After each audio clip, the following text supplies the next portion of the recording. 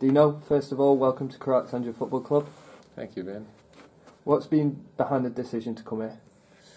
Um, oh, it's a massive appeal that the club, you know, they're pushing to get into League One. Um, it's a fantastic club. Uh, i was fortunate enough to spend some time early on in the season training here with the, the lads, and I, I know the, the staff as well.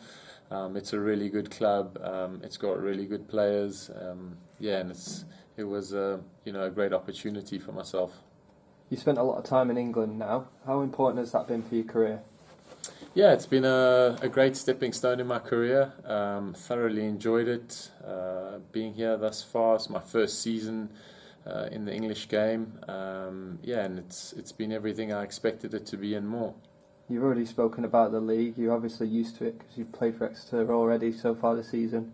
What can the Alex fans expect from you? Oh yeah. Um, look, uh, I'm here to support the team as much as I can. Uh, you know, I always give 110%. Um, wear my heart in my sleeve, and, and that's basically the kind of guy I am. Um, so yeah, at any given opportunity, I'm here to, to do my best and, and to just help the team improve and get better and better.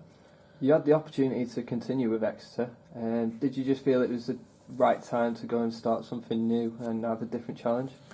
Um, it was a difficult decision.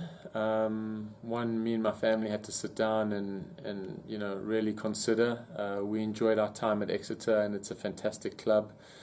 Um, yeah, I just there was just it, yeah, it was a tough decision, and it was one we just thought that um, with the opportunity that came about here, um, yeah, and with the staff that we know so well here um, yeah, we just decided that this was the right move at the right moment in time for us. Um, but yeah, it, it, had nothing to do with really either of the clubs. It was just more a personal decision from, from me and my family.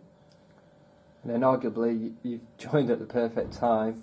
Um, you've met some of the lads and you, you obviously know some of the stuff already. What's the atmosphere been like in the changing room then?